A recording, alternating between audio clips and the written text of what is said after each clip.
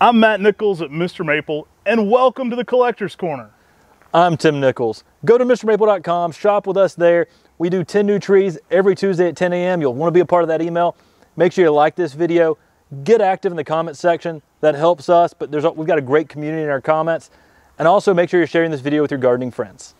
Today we're going to be dropping a video on Acer palmatum dissectum Lionheart. Lionheart, this is a great red Japanese maple.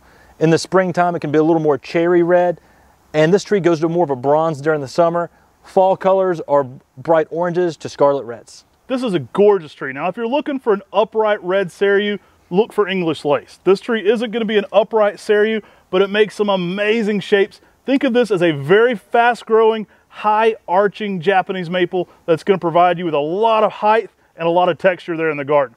Typically, it's not uncommon for Lionheart to be six to eight feet, even in 10 years, making it one of the fastest growing red dissectums you can grow. Now, as it gets in that larger size, you do start to get some more arching out branching, making it a beautiful structure and a more open area approach for a lace leaf Japanese maple. I mean, if my goal was to get a very large Japanese maple, it would be using something on a red lace leaf, something like an English lace mm -hmm. or a Lionheart. Yeah. I mean, those two are some of the fastest growing red lace leaves that's out there. Now, I really like this one because it has more of an open structure to it. Mm -hmm. While it does have a slightly cascading habit, it's not nearly as cascading as something like Tamukeyama, or especially not as cascading as Orangeola or Nabashidari. Right. It's going to give you more of an appearance of a 100-year-old tree, even in that 10-year period. We often talk about that with Germaine's Gyration. Think of this almost as a red equivalent for that growth rate, slightly smaller in Germaine's Gyration, but definitely one of the fastest growing red trees you can be growing for a lace leaf. Now, I like to stake this one to about six feet, then let it weep out from there. You get a good standard straight trunk with this one. It'll almost give it an umbrella-like approach if you stake this one up. Makes a very unique shape that I think is, you know, unique unto only Lionheart.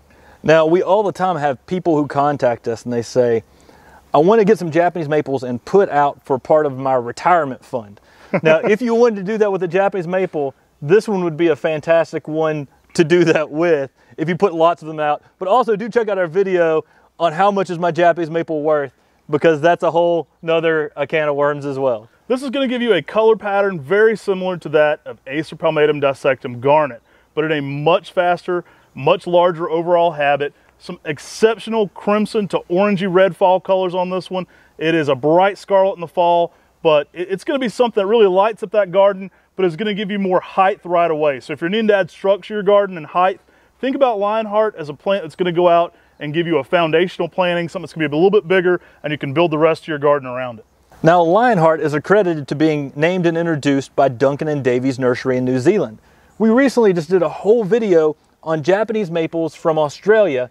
You know, maybe some Duncan and Davies introductions or introductions by right. New Zealand might be a future video for us. That'd be a great idea for a future uh, Saturday showcase. Our Saturday showcase show, basically we dive into collections of Japanese maples in different ways, and maybe we can put that on an upcoming showcase show.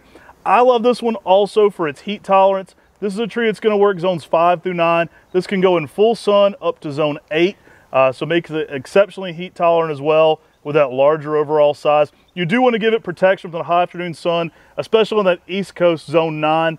Um, West Coast can change the rules a little bit with some of their heat indexes, but that East Coast Zone 9, you're going to want to give it protection.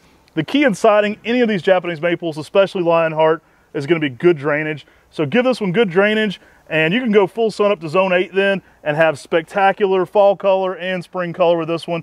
It's an excellent growing Japanese maple that's going to give you that appearance of a very regal older tree at a much younger age. So if you like this type of video, make sure you subscribe to our YouTube video on MrMaple.com, our YouTube channel. We put out new videos all the time, especially a lot of cultivar highlights. We've even got some videos out there comparing red lace leaf Japanese maples. So you can go through there and try to figure out which red lace leaf Japanese maple is best for you. And then you can go find them on MrMaple.com because often we have all those different varieties available at almost any one time. Hey, we hope this gives you confidence in gardening with Japanese maples. That's one of our main plans here on this nursery are to make Japanese maples more accessible, more popular, and to share our passion for those with you. So if this is something you're interested in, feel free to check out through the gift shop at mrmaple.com. Go check out our website. We've got an amazing assortment. We're always adding new and exciting trees every single Tuesday at 10. Lionheart is something I know that's either just recently relisted when you're seeing this or is listing very soon. So we're going to be bringing this one back. Uh, definitely you can check it out there on MrMaple.com and let us know in the comments section below future ideas for Collector's Corner videos. If there's cultivar highlights you guys would like to see, let us know in the comments section below. Appreciate you all watching. Take care God bless. and have a great day.